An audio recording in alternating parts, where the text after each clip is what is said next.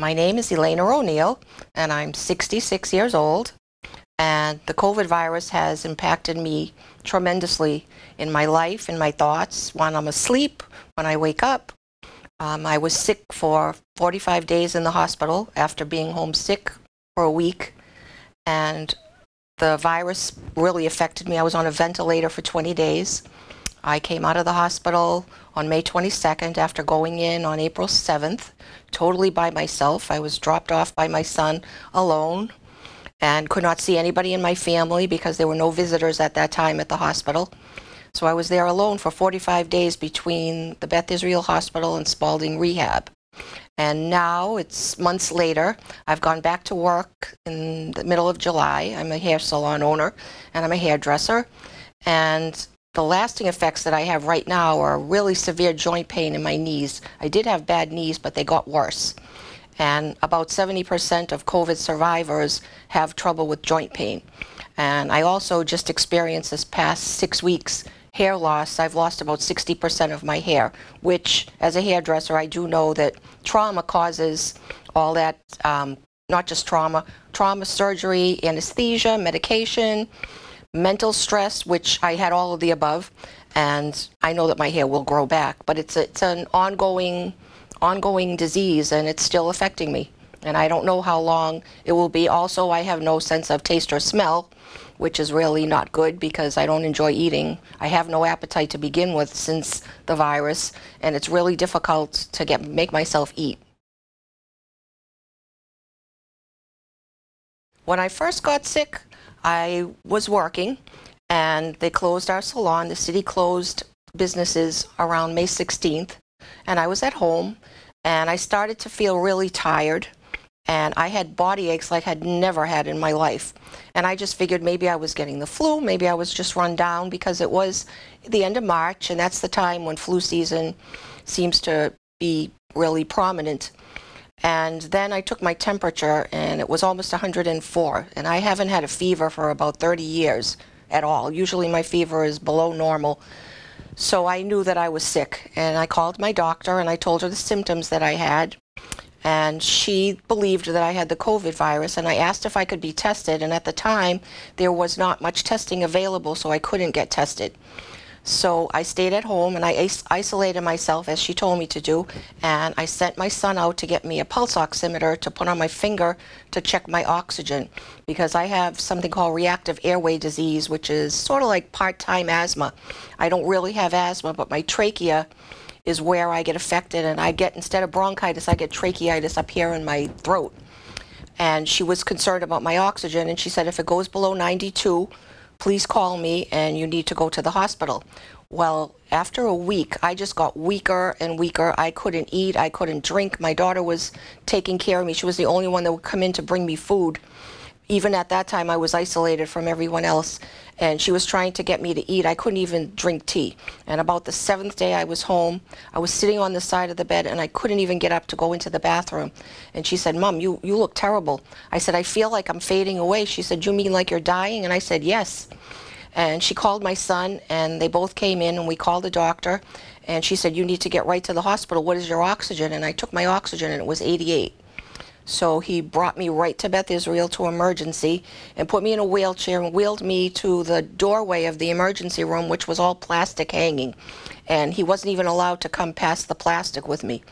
So they took me in and put me in a separate room and someone came in to give me a chest x-ray right away and when I saw the chest x-ray it was horrifying because I had had a chest x-ray a month before because I was wheezing and it was totally clear.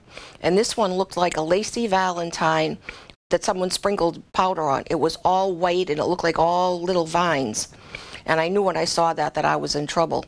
And the person that took the x-ray asked me if I had a COVID test and I said no not yet. He said well you're going to get one because these are COVID lungs so I got a test and it was positive and they admitted me right away into a room in intensive care where I stayed for three days. That was April 7th when I went in. And by the 10th, I had already been moved to three different rooms while I was in intensive care. Because first I was in a room that they brought another patient in and they took me out of that room because she was recovering and I was contagious. Then they put me in another room that looked like a utility closet. I stayed there one night, and then they put me in another room. And then these two doctors came in on the morning of April 10th at 3 o'clock in the morning, which I didn't even know what time it was. I thought it was about 9. And they told me that I needed to go on a ventilator because they had me on full oxygen and that's dangerous to be on for a period of time because it can actually blow your lungs out. And they, they could not lower it because every time they did, my oxygen would drop. So I called my family, I called my children, and I made my son my healthcare proxy. He's 34, and he was in charge of all the decisions that needed to be made. And I was also a little bit upset because the doctors that told me I needed to go on the ventilator looked like they were 12 and 13 years old. And they asked me if I had any questions, and the first question I asked was how old they were. And they explained to me why I needed to go on the ventilator.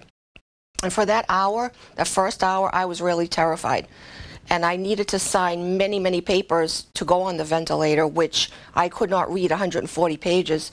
So the nurses helped me take pictures of all the papers that I needed to read and sign, sent them to my son, and he did all that. And then I really prayed so hard.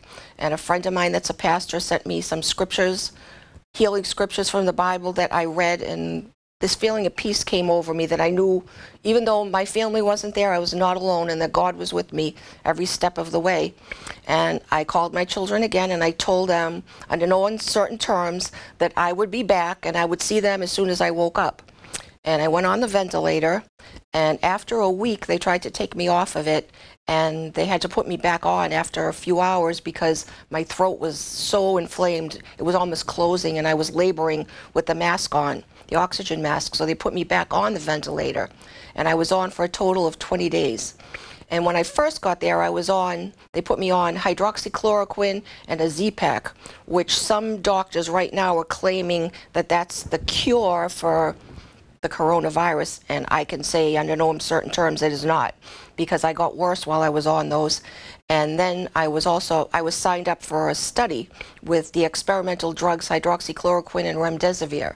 And I got remdesivir, and that's when I started to get better. And I was also on the experimental steroid for coronavirus called dexamethasone, which they gave me when they had to put me back on the ventilator and they knew they needed to give me that before I came off of it and right after I came off of it again. And then I also got hospital acquired pneumonia after I got off the ventilator. So I had to go on more antibiotics for that and I was in Beth Israel a total of 34 days. And then I had to have two negative COVID tests, which I did. And then on May 11th, which was the day after Mother's Day, I got transferred to Spaulding in Charlestown. And I spent 11 days there, which they thought I'd be there over a month. And miraculously, I recovered in 11 days. And I came home.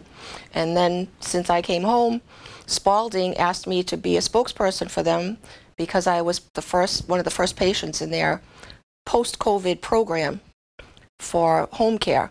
And I did some interviews for them, and I am happy to talk to people about how this virus is real, and people need to really pay attention and start doing the right thing.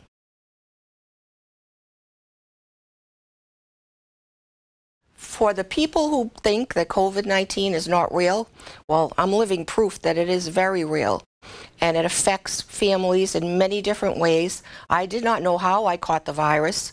I just found out recently in the past two weeks that I probably caught it from my husband who had a really bad cough from the end of February to the middle of March and he recovered at home from it. He thank God he was strong enough that he didn't even go to the doctors or he just treated himself and he recovered from it. So right then and there, somebody could have it and you not, not just not know. My daughter couldn't taste or smell for a couple of days before I got sick. And that was also a symptom. And at the time, like I said before, they weren't doing much testing. So there are many people walking around that have no symptoms, and you cannot take a chance that you're not going to catch it because you don't know who's walking around with it. It's a silent disease.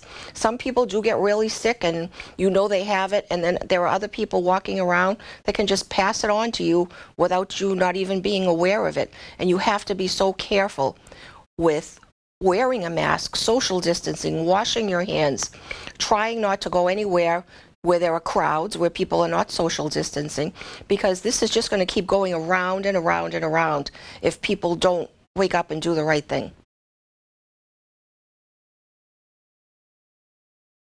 As we were at the beginning, even before they closed my salon, I was wearing a mask. And to protect ourselves and my family, we do not go anywhere where there are big groups. We, we've been invited to many functions and we've mostly turned them down. We only go places if we just started to even eat out. It's going to be somewhere outside where there's plenty of room around us. Um, we don't go like I said, anywhere with crowds. We wear masks. We social distance. We all have many masks in our cars. We wear them all the time when we're out with people. If people think that that's no, not necessary, that's too bad. We have to protect ourselves because my family was greatly affected by this, by my illness, by my daughter not being able to taste or smell still since March. My husband, who we didn't even know he had it until he recently had a fall and has been in the hospital, and he got tested. They wouldn't test him because he had no symptoms, and now he had an antibody test, and he has many antibodies, so we know that he had it. So we just we just follow the rules. We wear masks, we social distance, we wash our hands a lot, and we try to stay away from people. To the people that are walking around not wearing masks and think this is a joke, just put yourself in the place of a person like myself who was really sick, or put yourself in the place of a person that were not even as lucky as I was and lost their parents or their children or their siblings or their best friend and be respectful of other people. If you were in their place, I'm sure that you would greatly appreciate people wearing a mask around you and just being respectful to, to having consideration and being kind enough to care about others more than you care about yourself.